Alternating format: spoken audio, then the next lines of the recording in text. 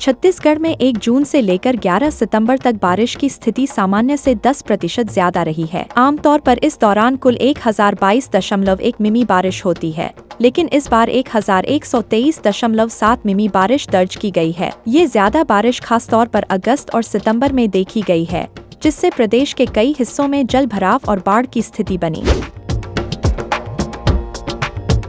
मौसम विभाग के अनुसार, आने वाले दो दिनों के लिए छत्तीसगढ़ में बारिश की संभावना कम है, जिससे तापमान बढ़ सकता है। बुधवार को राजधानी रायपुर समेत प्रदेश के अन्य हिस्सों में औसत तापमान में चार डिग्री की वृद्धि दर्ज की गई है। रायपुर में तापमान 32 से 33 डिग्री तक पहुँच सकता है। इस गर्मी के चलते दिन में उमस भरी गर्मी लोगों को परेशान कर सकती है।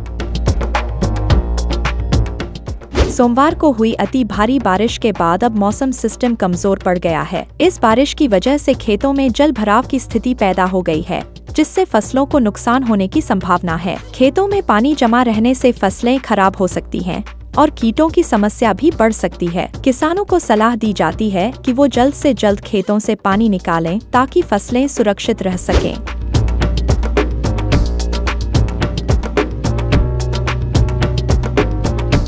गंडई में 110 मिमी, रेंगाखार कला में 90 मिमी, तिल्दा में 80 मिमी सहसपुर लोहारा में 70 मिमी, सिमगा धरसीमवा पचपेड़ी और साजा में 60 मिमी, थान खमरिया, नांदघाट, बस्तर, बेमेत्रा, दाडी और अभनपुर में 30 मिमी तक बारिश हुई है।